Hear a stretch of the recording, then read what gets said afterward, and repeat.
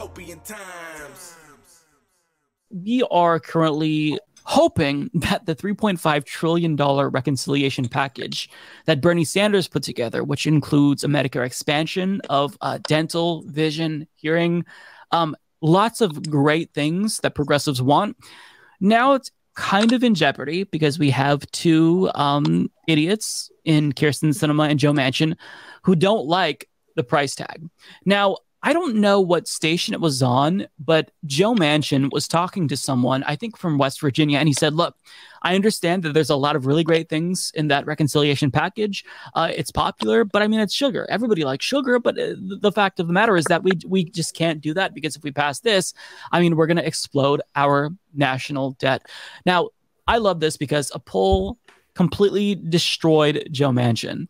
Uh, facts don't care about his feelings. So I want to read this. This is a Data for Progress poll. So Data for Progress pollsters told the group of response, or before I even read it, let me just say the poll essentially finds that Americans don't give a flying fuck about the debt or the deficit. So, uh, Data for Progress pollsters told the first group of respondents that the bill would cost 3.5 trillion, which is the amount that Biden and the Democratic leaders support. The pollsters told the second group of respondents that it would cost 2.5 trillion, and told the third group it would cost 1.5 trillion. So, they're trying to determine whether or not support for this reconciliation package uh, declines with a higher price tag. But overall, the response levels in the three groups were nearly identical. I, I, this is just this is music to my ears. Voters support their proposal by roughly a two to one margin, regardless of whether pollsters said it would require 3.5 trillion, 2.5 trillion, or 1.5 trillion in new spending. That top line result comes with a very big, very important caveat.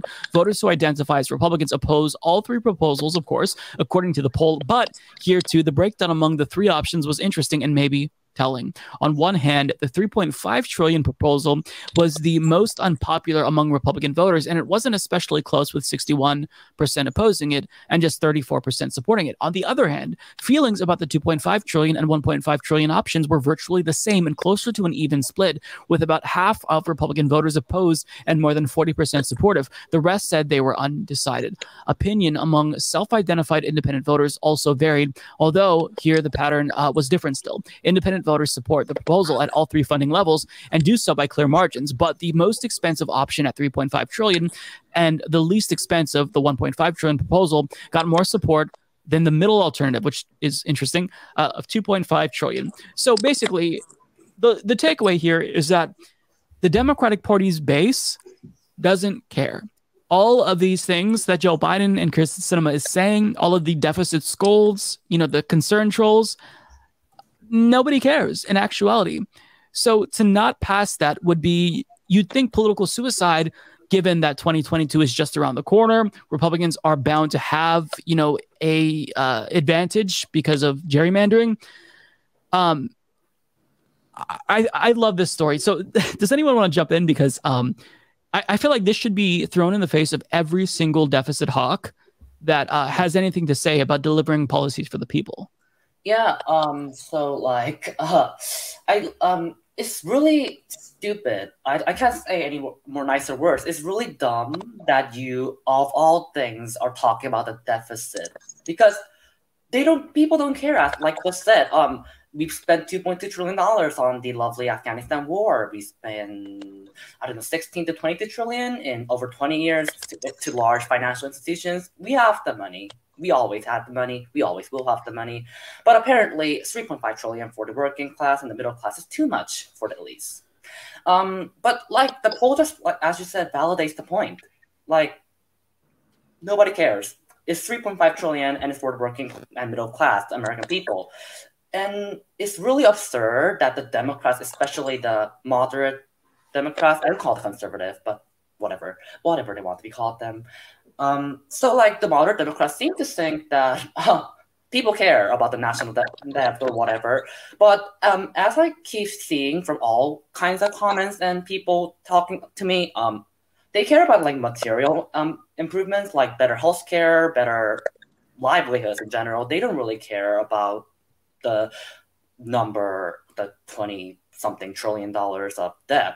That really isn't the concern for most Americans. As as much as they don't care about shenanigans in Washington, they don't care about the deficit. What they care about are their lives. And when these moderate moderate Democrats seem to think that that's the most important thing, the top line number 3.5 trillion already negotiated by from six trillion dollars. I just find it absurd, and I cannot believe they believe that. But you know, I also can because you know they're funded by Exxon and all that. So yeah, that's true. Yeah. Yeah. Um, Christina, go ahead. I was talking to a customer today who's very uh, conservative, and I was telling her about the reconciliation bill, what it had. I'm like, with Medicare, it's going to include dental and seeing and hearing, you know. And she's like, that sounds wonderful. Because in my opinion, when it comes to Medi- uh, Medicare, why is that not part? I mean, when you get older, what happens to you? And so she was like, I like that, I like that, and lowering the you know Medicare age or whatever. But of course, it's always about the funding. I'm like, you know, where all that, as uh, Anthony pointed out, where all that money went to? Wars in Afghanistan and Iraq. All that money could have been used for something like that a lot earlier on, but it never happened. Yeah, and that's a great point. I mean, one thing that irritates me is that these deficit scolds, they're never consistent. So when it comes to tax breaks for the rich, when it comes to wars, not a peep from them. We always have the money for that. And we do, to be fair because you know we we print our own we have our own fiat currency right? I subscribe to modern monetary theory. So i believe in deficit spending. But the people who are against spending for you know the middle class the working class poor americans they only speak up when we're about to get something you know a policy concession. And that to me it's like a mask off moment that they keep doing over and over again. And i just want people to wake up and be more you know um privy to the fact that it, this is this is an absurd argument. So the national debt, this is something that isn't like our debt as as individuals. Like government debt is not of our concern. Um, and, and so we keep hearing these fear mongering things like, oh, well, you know, your your future generations are going to have to pay that back. Mm, I, I, think that our future generations, even if that were true, which it wasn't, I think that our future generations would prefer to pay that back than uh, see the world go to shit due to climate change. It's just, you know, there's any excuse, and I'm so sick of them, you know, squirming out of this. And Rayvon, I'm not sure if you've heard. So what they're trying to do currently is, so they, they passed the bipartisan infrastructure bill in the Senate, and now the moderate Democrats in the House are pressuring Nancy Pelosi to put the infrastructure deal up to a vote so that way they can pass the infrastructure bill, but then screw over progressives who wanted all of these policy wins in the uh, reconciliation package. So I, I think that it's impressive and shocking that Nancy Pelosi is holding strong here.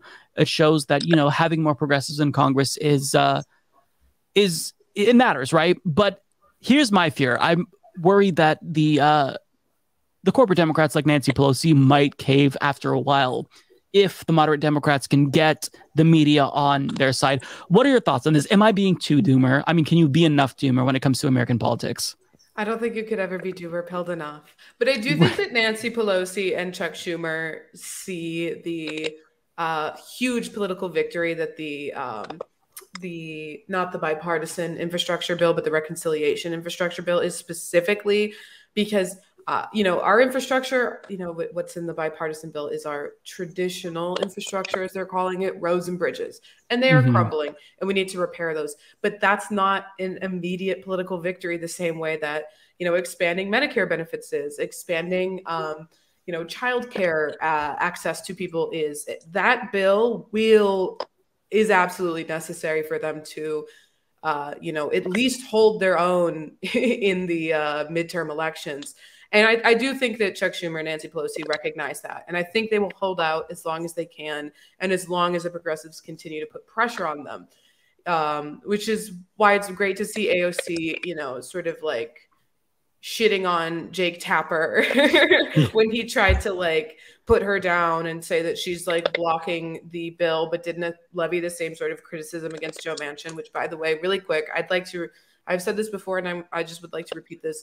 Joe Manchin, you, me, we will a, a, a fist fight. If I win, you have to stop being a bitch. If you win, you can continue to be a bitch. I'm just saying. It's I like I also, I also just like love the idea that Joe Manchin is concerned about the deficit. Like the 90s called, they want their deficit hawking back. No one gives a fuck about Right. the deficit in 2021. And I promise you, the people in rural West Virginia who have no access to internet, who don't even, some of them don't even have access to water and electricity. They don't give a shit about the deficit they need what that infrastructure bill is going to provide them with.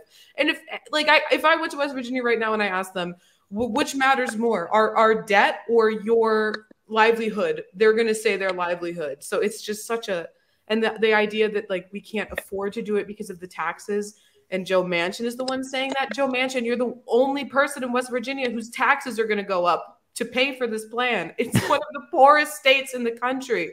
No one else in that state is going to see a, fu- like one more penny taken out of their paychecks to to do this. So it's just he is a bitch, and he should fight me.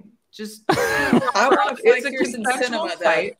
It's a consensual fight, so can't get banned from any platform for saying this. But I, I'm I'm down for bringing back duels. I would like to duel Joe Manchin, Joe Biden. I'll duel Chris, Kyrsten Sinema. Fuck it. I'll I'll duel all of the them.